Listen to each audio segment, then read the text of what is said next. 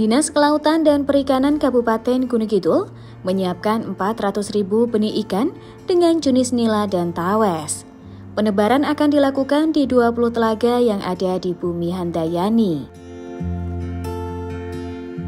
Secara simbolis, penebaran dilakukan oleh Bupati Gunung Kidul di dua titik yaitu Telaga Meriwis Putih, Banyu Bening, Bejiarjo, dan Telaga Kemuning, Kapanewon Pato.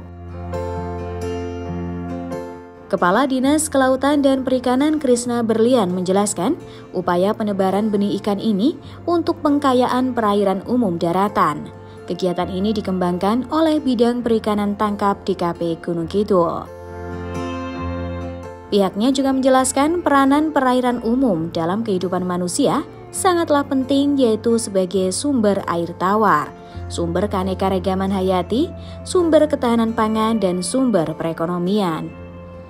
Bupati Gunung Kidul sendiri, Sunarianta mengatakan nantinya pemerintah daerah akan memperlakukan larangan memancing di telaga pasca penyebaran benih. Bupati meminta benih ikan dijaga, dirawat oleh Karang Taruna, jika sudah besar dapat digunakan untuk peningkatan ekonomi. Ya. Dan saya rasa tidak susah untuk mendapatkan ikan-ikan segar, apalagi di, uh, di telaga Kemuning ini. Ya, ini juga sama ini punya satu telaga yang cukup besar seperti ini Bapak Ibu sekalian dan tidak sat ya Pak, buatan sat ya.